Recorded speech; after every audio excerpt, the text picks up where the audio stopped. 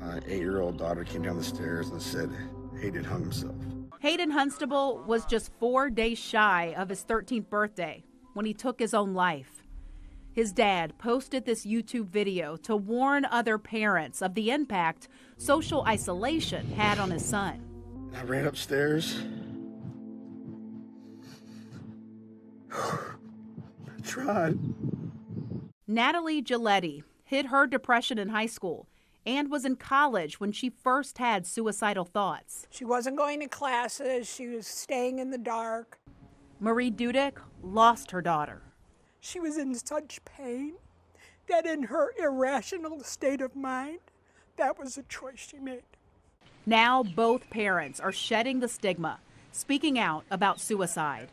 Half of all mental illness manifest by age 14 and 75% by 24. It's important to look for warning signs early intense anger or rage, irritability, hopelessness, withdrawal, losing friendships, and losing interest in things they love. Experts say talk matter of factly about suicide. Allow your child to express their feelings. Don't be judgmental and be available for them. Hayden's dad is working to get that message out through PSAs like this one.